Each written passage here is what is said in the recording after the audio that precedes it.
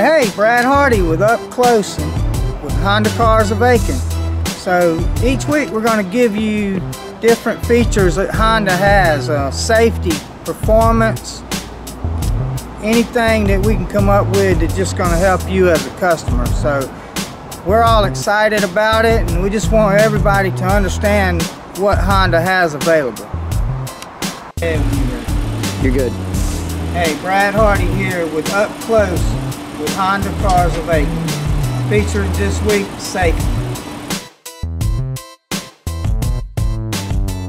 So, on lane keep assist, first things first is you have to have your seat belt on. So I'm gonna put the seat belt on.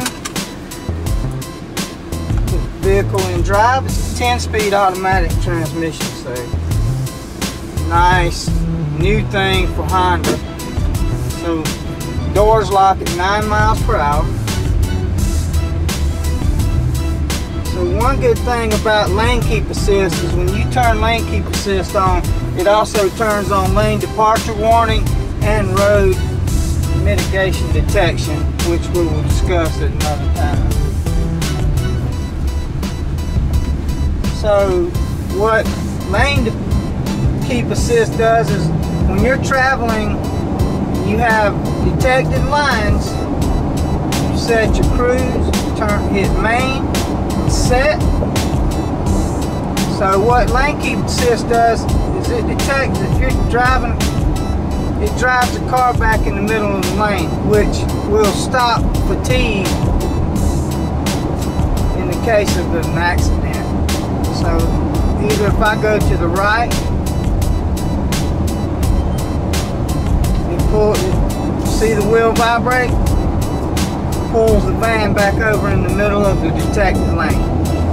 All right, do it again. I'm gonna get a close up. So lane keep assist detects if you cross the, the white or yellow line without putting your turn signal on. See how the wheel shakes? It shakes to let you wake you up and then it drives you back in the right lane. So either it'll go on the right or left side. So if I turn my turn signal on, course that deactivates lane keep assist. But if I try to cross back across to the right, after if it's raining or the headlights are on in the daytime, lane keep assist will not work. Or you're on back roads with no lines,